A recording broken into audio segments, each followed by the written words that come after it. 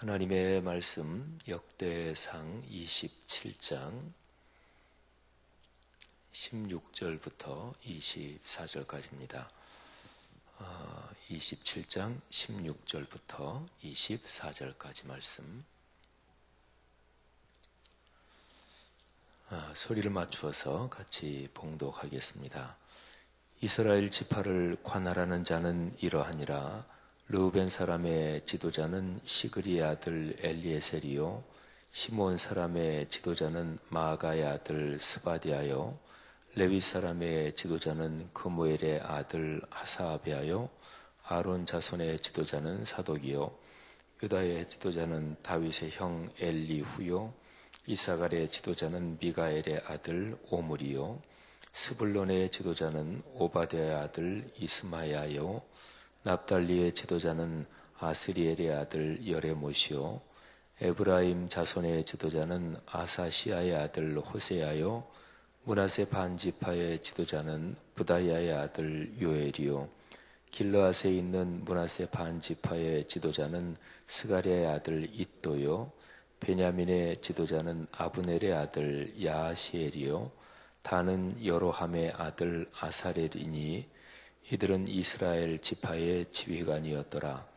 이스라엘 사람의 20세 이하의 수효는 다윗이 조사하지 아니하였으니 이는 여호와께서 전에 말씀하시기를 이스라엘 사람을 하늘의 별같이 많게 하리라 하셨습니다.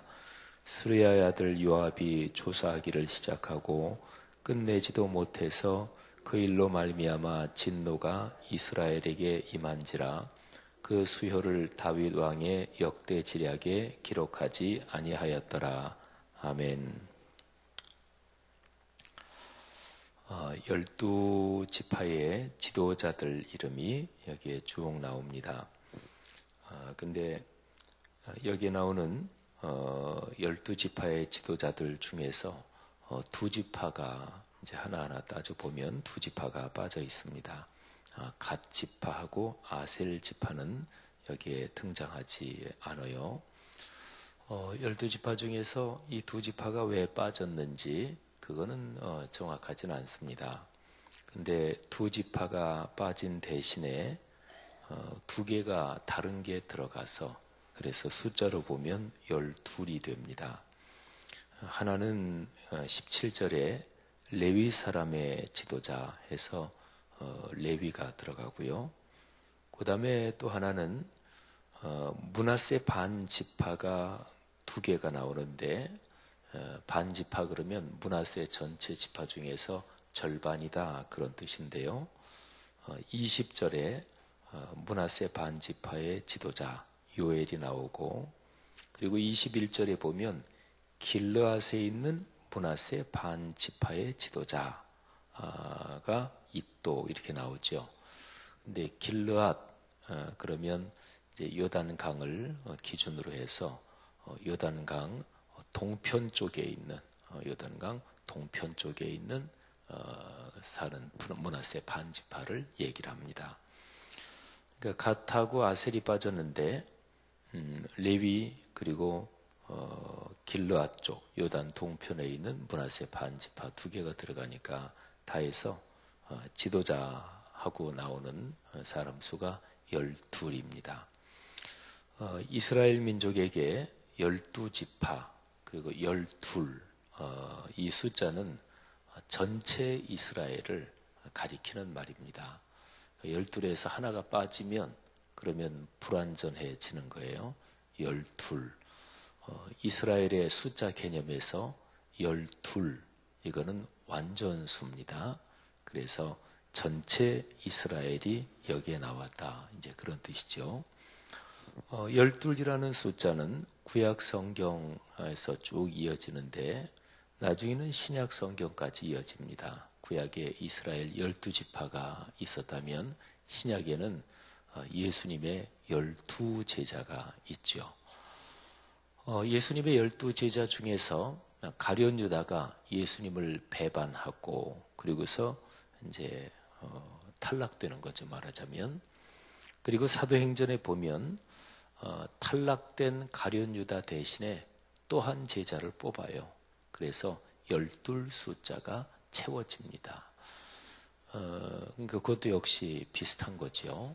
그러니까 열둘 이게 완전히 옹근 것으로 존재하는 것은 하나님의 축복에서 대단히 중요한 일이었습니다. 어, 구약의 이스라엘 백성 네, 그거를 잇는 게 신약의 어, 교회입니다. 그래서 이제 이스라엘 백성이 열두 지파로 됐다. 그런데 교회는 열두 제자로 구성이 되는 거죠. 어, 하나님께서 천지를 창조하시고 그리고 어, 범죄 이후에 음, 이스라엘 백성을 부르신 거죠. 아브라함을 불러서 아브라함이 이스라엘 민족의 시조잖아요. 아브라함을 하나님이 부르셔서 어, 아브라함으로부터 이삭, 야곱 그리고 야곱의 열두 아들 해서 이제 열두 지파 이렇게 내려가는데 그 열두 지파로 구성된 이스라엘 백성한테 사명을 주셨습니다. 그 사명은 어, 하나님의 뜻을 어, 온 세계 모든 민족에게 알리고 하는 것이었습니다. 그게 창세기 12장 1절부터 거기 3절, 4절까지 기록이 되죠. 그래서 하나님께서 주신 복을 세계 모든 만민에게 어, 나누며 베풀며 사는 것입니다. 어, 그러니까 하나님이 아브라함을 부르시고 아브라함에게 이어지는 열두 지파로 구성된 이스라엘 민족 전체는 어, 자기들만을 위해서 사는 민족이 아닙니다. 하나님이 그들에게 복을 주시는 게 맞고 그들을 특별히 선택하신 게 맞고 그들을 특별한 민족으로 각별하게 사랑하시는 게 맞는데 근데 목적이 어, 그들이 우리가 복받고 우리가 잘 살고 어, 그렇게 생각한 게 그들의 착각인 거지요. 그러니까 하나님은 그들을 뽑고 선택하시고 그리고 완전수 열둘이 상징하는 하나님의 온전한 은혜를 그들에게 내려주신 그 이유는 그들에게 주신 복을 그들이 세계 모든 민족에게 나누게 하려는 것이죠. 그는 사실은 창세기 1장에 기록된 인간 창조의 목적하고도 연결됩니다. 하나님이 사람을 창조하시지요. 근데 사람에게 복을 주시는데 사명도 주십니다. 하나님이 만드신 모든 피조물을 어, 다잘 돌보고 그리고 잘 이끌고 다스리고 그런 거죠. 그러니까 구도가 똑같죠. 그러니까 모든 세계를 다 창조하시고 나서 그 중에서 아담과 하와 남자와 여자로 된 사람을 창조하시는데 그리고 사람에게 특별한 복을 주셔요. 하나님의 형상대로 사람을 창조하셨으니까 다른 피조물에 비해서는 아주 특별한 복이죠. 근데 그 까닭은 아주 특별한 복을 받은 사람이 어, 우리는 다른 피조물에 비해서 특별한 존재구나. 다른 피조물은 천한 것들이구나. 이렇게 살라는 게 아니에요. 특별한 것을 주신 이유는 그 특별한 것을 가지고 다른 것들을 잘 돌보고 가꾸고 또는 섬기라는 거죠. 그러니까 베풀라는 것입니다. 그러니까 우월의식, 교만의식 이런 거를 가지면 그게 이제 착각인 거죠. 근데 그게 사실은 안 된 거죠. 그러니까 처음 사람 아담 하와에게 하나님께서 맡기신 그 책무, 그 책임 또는 우리 그리스도인이 많이 쓰는 말로 사명 그거를 제대로 못한 거예요. 어, 다른 피조물을 잘 가꾸고 다스리기는커녕 오히려 유혹에 빠져서 죄를 짓지요. 그래서 사람 때문에 다른 모든 피조물이 행복해야 되는데 완전히 거꾸로 된 거예요. 사람 때문에 죄가 들어와서 그래서 사람 때문에 다른 피조물도 죄의 고통에 시달리게 된 거죠. 이 실패한 사명 그리고 죄악에 빠진 세상을 하나님이 다시 회복시키시려고 그래서 어, 하신 일이 아브라함을 부르시고 그로써 열두 지파로 구성된 이스라엘 민족을 부르시는 거죠. 원리는 똑같아요. 그러니까 이스라엘 민족 열두 지파로 구성된 그 이스라엘 민족에게 특별한 은혜를 주십니다. 뭐 특별한 은혜를 주시죠. 나는 너희 하나님이다. 너희는 내 백성이다. 선택한 선민, 거룩하게 구별한 성민, 어? 선민이요, 성민이요, 아주 특별한. 어, 그런데 그것도 똑같아요. 너희가 특별하게 선택이 됐고 또 거룩하게 구별이 됐으니까 너희는 특별하다. 너희 이외의 다른 모든 민족들은 다 천한 것들이다. 망할 것들이니까 그것들하고는 상관도 하지 말아라. 이렇게 생각하면 그게 착각인 거죠. 그들에게 주신 복을 다른 모든 민족에게 보여주라는 거죠. 전하라는 거죠. 그러니까 이스라엘 민족은 샘플입니다. 본복입니다. 근데 이제 이스라엘 민족이 그거를 깨닫지 못한 거예요. 그래서 우리는 특별하다. 그래서 우월의식, 우월감, 그리고 교만에 빠진 거죠. 그러니까 실패했죠. 뭐 그래서 하나님한테 두들겨 맞고 뭐 등등. 근데 계속해서 내려오는 어, 구원의 역사, 또 하나님을 믿는 사람들 중에서 하나님의 뜻을 깊이 깨닫고 그런 사람들의 흐름이 끊어지지는 않았어요. 그래서 하나님이 다시금 그 사명을 주시려고 열두 제자를 부르시고 교회를 세우시는 거죠. 그러니까 아담 하와에게 주신 하나님의 명령, 그리고 이스라엘에게 주신 명령, 그리고 이제 그게 교회에게 주시는 명령으로 이어지는 거죠. 어, 교회가요, 자기 자신을 위해서 존재한다. 그러면 또 착각하는 거죠. 그러면 또 실패하는 거죠. 그러니까 교회는 교회 안에 있는 사람들을 위해서 존재하는 그런 단체가 아닙니다. 교회는 세상을 위해서 존재하는 거예요. 그러니까 교회 다니는 분들이 어, 교회 아직 안 다니시는 분이 교회 처음으로 나왔다. 우리 세 가족이 교회 나오잖아요. 거기에 대해서 참 감사하고 그분들을 굉장히 귀히 여기는 게 마땅합니다. 그런데 어떤 새로운 분이 교회 공동체에 나오셨는데 그분들에 대해서 텃세를 부리고 또는 기존 우리끼리 똘똘 뭉치고 이거는 아담 하와가 저지른 죄악, 이스라엘이 저지른 실패 죄악, 그거를 계속해서 반복하는 거예요. 그러니까 교회는 세상적인 의미의 친목 단체가 아니에요. 그래서 우리끼리 똘똘 뭉쳐서 참 재밌다. 그리고 뭐 야유회 가고 친목회 가고 어디 꽃 구경 가고 교회는 그런 단체가 아닙니다. 그러니까 아담 하와에게 세계 모든 다른 모든 피조물을 하나님의 뜻대로 선하게 다스리고 가꾸고 이끌고 또 이스라엘 민족에게 주신 축복을 세계 모든 민족에게 전하고 이게 선교라는 게 바로 그런 거예요. 선, 이 선자는요, 왕의 명령, 하늘의 뜻, 이런 거를 말해요. 교자는 가르칠 교자잖아요. 그러니까 선교라는 그 말을 일반적으로 풀면 하늘의 뜻, 그리고 하나님의 뜻, 왕 중의 왕이신 그분의 뜻을 세상에 널리 전하고 널리 펼치는 거예요. 그러니까 선교는 구약에도 분명히 나오지요.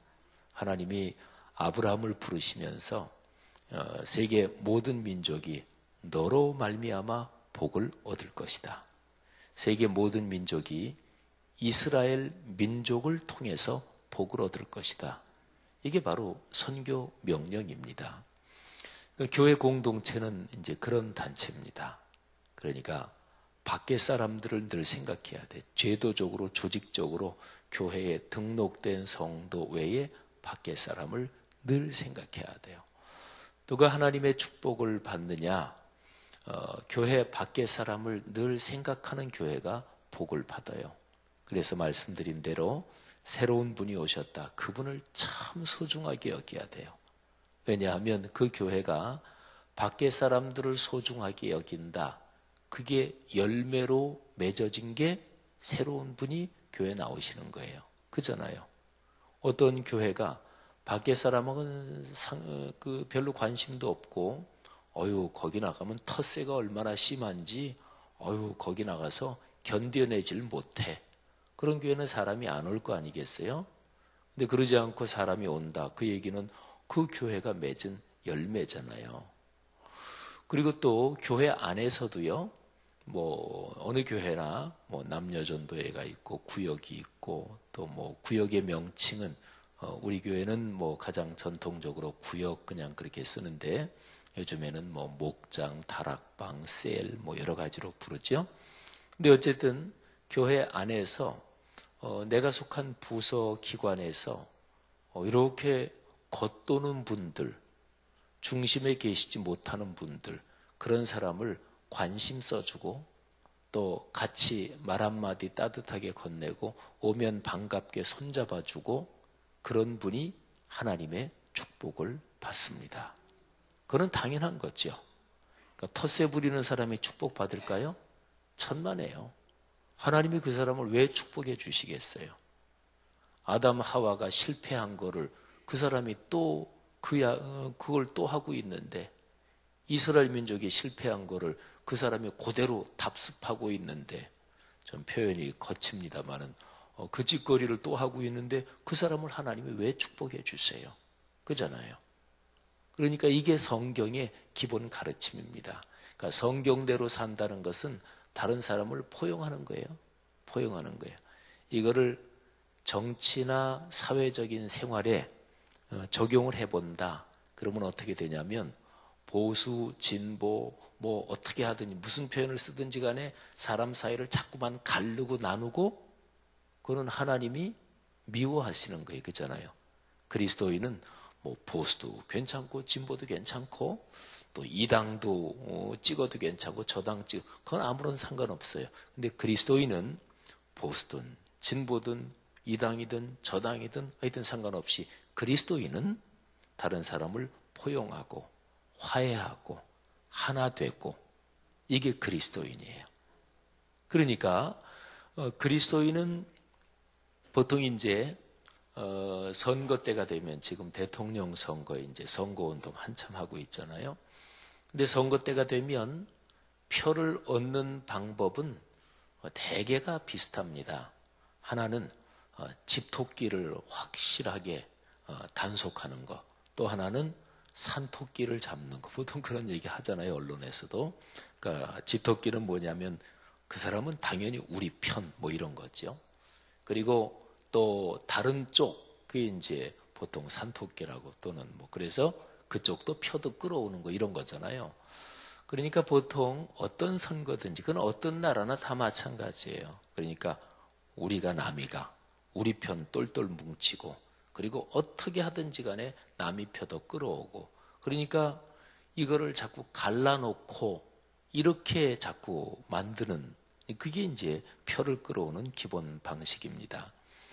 근데 그리스도인은 이제 선거 때가 되면 이렇게 살피되 여러 가지를 살펴야 돼요.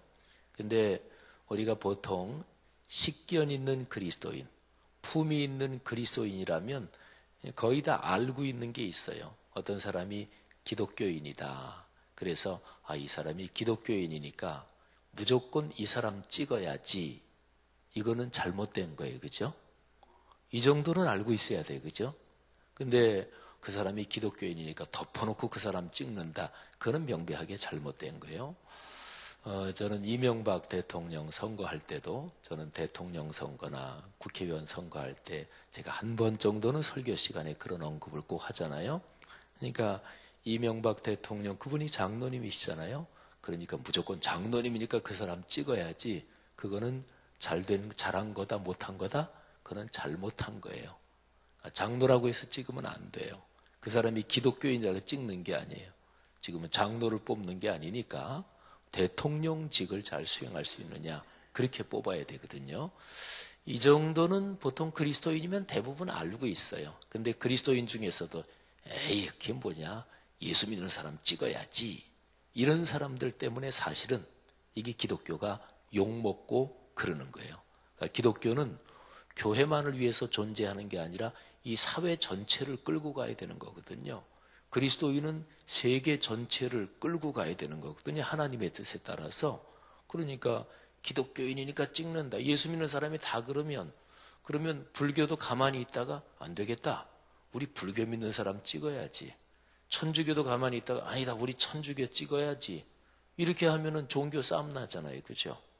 그러면 기독교인은 이 사회 전체를 끌고 가야 되고 세계 전체를 품에 안는 어머니 같은 역할을 해야 되거든요. 그게 하나님이 아담 하와에게 맡기신 사명이고 아브라함을 통해서 이스라엘 민족에게 맡기신 사명인데 이게 예수 믿는 사람이 자꾸만 편갈르고 우리끼리 이런 거거든요. 그러니까 선거할 때 그 사람이 기독교인이니까 무조건 찍는다. 이거는 잘못이란 말이죠. 근데 이제 이번 선거에는 명백하게 그 후보로 나온 15분 중에서 그 중에 한 분은 아마 사퇴 벌써 하셨다 그러던데 15분 중에서 기독교 이런 사람이 아, 나머지 저쪽 말고요. 참 중요 다섯 명 후보, 중요 다섯 명 기호 1번부터 5번까지에는 기독교 어, 이는 없어요. 어, 기독교인은 없어요. 뭐 천주교 신앙 가지신 분도 있고 또 불교 쪽에 가까우신 분도 있고 그런데 기독교인은 없어요. 근데 어쨌든 중요한 것은 그것입니다. 어느 쪽이든지 간에 이번 선거를 보는 시각이 여러 있지만 제가 지금 말씀드린 오늘 이 말씀에 근거하면 이렇게 보는 거예요. 어, 저 사람이 자꾸 갈라놓고 쌈 붙여가지고 표를 얻으려 그러느냐? 아니면은 저 사람이 자꾸 이렇게 화합하고 그러려고 하느냐? 이거를 보는 것도 방법이에요. 쌈 붙이고 갈라서 표를 얻으려 그런다. 그거는 하나님이 기뻐하시는 건 아니에요. 그건 선거든 뭐든지 간에 뭐 인간관계에서 뭐 남을 이렇게 비방하고 헐뜯고 그래서 막 내 편을 만들고 누구하고 쌈 붙이고 이간질 시키고 그거는 인간 세계에서 어떤 경우든지 주님의 뜻이 아닌 거죠.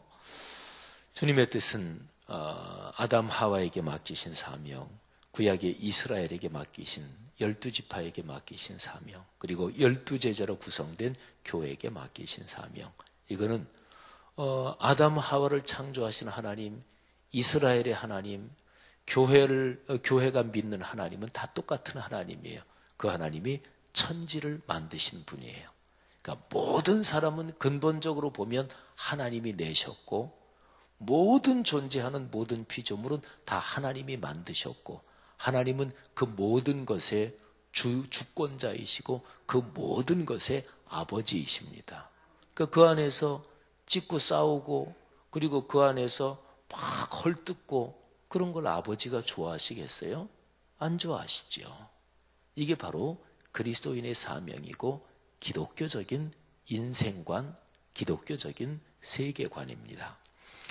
오늘 여기 어, 역대상 27장 16절 어, 이하에 나오는 어, 전체 이스라엘 12로 얘기되는 이거를 보면서 그런 교훈을 다시 한번 봤습니다. 우리 그리스도인이 살아가는 모든 삶의 현장에서 늘 우리 때문에 화합하고 또 우리 때문에 상처받은 사람이 치유되고 또 그리스도인이 우리 사회에 존재하는 것 때문에 우리 사회가 지역별로 분열하고 보수 진보로 분열하고 계층 때문에 서로 갈라지고 뭐 이런 게 안 좋은 거잖아요. 그죠? 근데 이 사회에 그리스도인들이 있어서 그렇게 갈라지고 멀어지고 상처나고 갈등하고 이러는 것이 그 반대 방향으로 그리스도인 때문에 화합하고 그리스도인 때문에 서로 이해하고 그리스도인 때문에 이 나라의 민족이 평화로운 나라가 되고 그런 사회가 되고 그런 축복이 있기를 바랍니다. 또 우리 한 사람 한 사람이 그런 어, 날마다 그렇게 삶의 길을 걸어가기를 주의 이름으로 축복합니다. 하나님 아버지 은혜 감사합니다. 오늘 하루도 그렇게 걸어가겠습니다. 감사합니다. 또 이번 대통령 선거에서 우리 국민을 하나로 묶고 또 화합하고 이렇게 저렇게 여러 가지로 갈라진 이 사회를 잘 치유할 수 있는 최적합한 사람이 대통령이 되도록 하나님이 복을 주십시오. 하나님 기도합니다. 오늘 또 우리 교회가 고두비 축제가 있습니다. 우리 주관하는 또 남전도의 연합회 또 참여하는 교회 전체의 모든 교구들 또 성도님들을 크게 축복해 주옵소서. 기도하는 제목을 응답하시고 각 가정마다 하나님께 간절히 부르짖는 기도 제목들 주님의 큰 복으로 축복해 주시고 응답해 주시기를 원합니다. 병이 있는 분들을 치료해 주옵소서. 지금 안수하여 주옵소서. 경제적인 분들을 활짝 열어 주옵소서. 아들, 딸, 또 후손들 좋은 문들 열어 주셔서 인생길 주님께 영광 돌리며 다른 사람에게 넉넉히 베풀며 나눌 수 있도록 성공하고 형통하는 문을 열어 주옵소서. 예수님 이름으로 기도 올립니다. 아멘.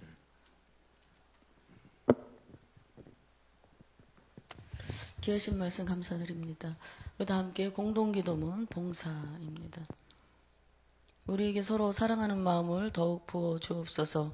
교회 안의 작은 교회들을 넉넉하게 축복하옵소서.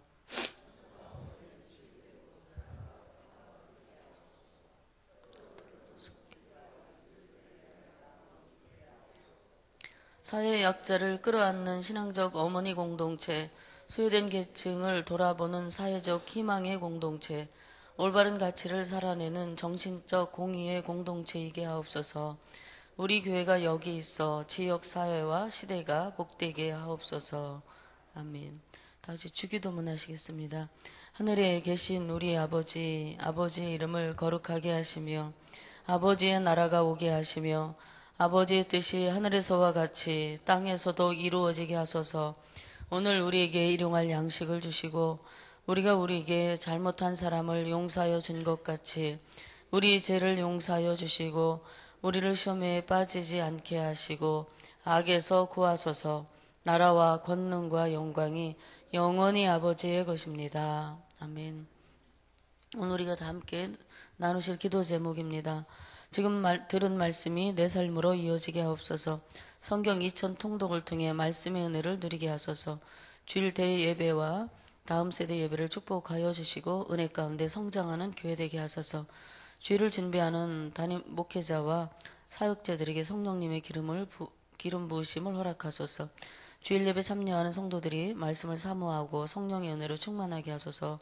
교구마다 준비하는 VIP 초청주일에 예비된 영혼을 보내주시고 아름다운 결실 있게 하소서. 음, 고두비 축제에 참여하는 성도님들과 진행하는 모든 분들이 안전하고 행복한 하루 되게 하소서. 북한 적경 지역 선교 탐방을 축복하시고 선교 기간 동안 큰 은혜를 주셔서 대통령 선거를 통해 정직하고 신뢰할 만한 지도자가 세워지게 하소서. 이같이 함께 기도하시고 각자 가지고 오신 기도 드리신 후에 삶의 자리로 나아가도록 하겠습니다. 하나님 아버지 감사합니다. 드리신 말씀 드리겠습니다.